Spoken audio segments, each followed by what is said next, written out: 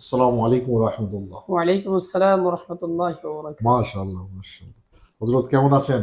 আলহামদুলিল্লাহ আল্লাহ তালা অবশ্যই শুক্রিয়া আল্লাহ তালা আমাকে সুস্থ রাখছে। যাক আলহামদুলিল্লাহ আল্লাহ শুক্রিয়া আদায় করলে আল্লাহ নিয়ামতকে বাড়িয়ে দেন। বাড়িয়ে দেয়।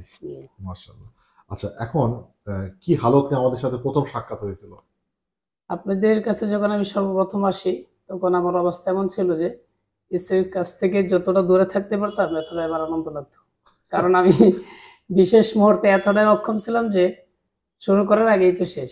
স্ত্রী ডাকলে আপনি ভয় পেতেন বা বিরক্ত লাগতো? বিরক্তি লাগতো বলতে নতুন বিবাহ করছি বিরক্তিটা প্রকাশ করিনি কখনো কিন্তু দূরে থাকাটাকে আমি পছন্দ করতাম। আচ্ছা আচ্ছা। আর কাছে যাওয়াটা যতটুকু দূরে থাকা যায় এতটুকু আমার কাছে ভালো লাগতো। কারণ তো বললামই যে বিশেষ মুহূর্তে কাজ কতটুকু সময় আছে এটাকে প্রশ্ন করলে আমার লজ্জা লাগতো। কারণ শুরু করার আগেই তো আমি শেষ। আচ্ছা আচ্ছা। এই জন্য এটা কেউ যখন আমাকে এই প্রশ্নটা করতো যে কতটুকু সময় নিতে পারেন আপনি স্ত্রীর কাছ থেকে বা স্ত্রীর কাছে কতটুকু সময় দিতে পারেন বিশেষ কাজে?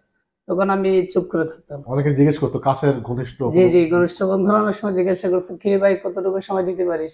আচ্ছা, তখন আচ্ছা। আমি ওই উত্তরটাই দিতাম না কারণ বলতে গেলে মিথ্যা বলতে হবে।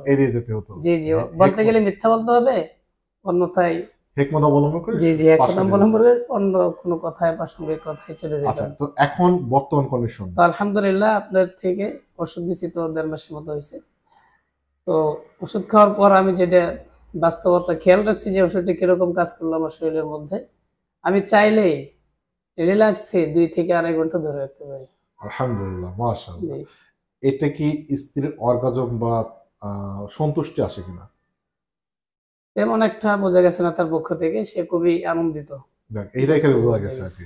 ডাইরেক্ট কিছু বলে নাই। জি যারা কিছু বলে না কিন্তু এমনি তার বচনভঙ্গি আচার উচ্চারণ থেকে যতটুকু বোঝা যায় যে ভালো। নতুন বিয়ে করলে অনেক নারীরা এটা প্রকাশ করতে পারে না বা বোঝে না। জি। এটা ধীরে ধীরে ঠিক হয়ে যাবে সেটা আমরা পরবর্তী চিকিৎসা আমরা আপডেট করব। ঠিক আছে যারা কারোর জন্য নসিয়া আছে কিনা?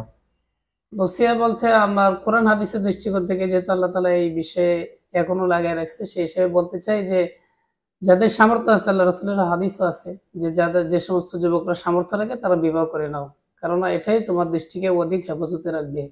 তোমার ইমান আমলের দিক থেকে অনেক উন্নতি ঘটাবে।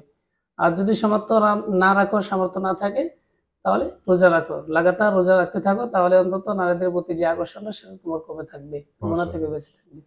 আমি এটাই বলব যাদের সামর্থ্য আছে তারা অতি- তাড়াতাড়ি বিবাহ করেন যাদের সামর্থ্য নেই কিছু একটা সাধনা করেন। মাসাল্লাহ তাহলে আমরা আজকে এখানে শেষ করছি। আসসালামু আলাইকুম ওয়ালাইকুম আসসালাম রহমতুল্লাহ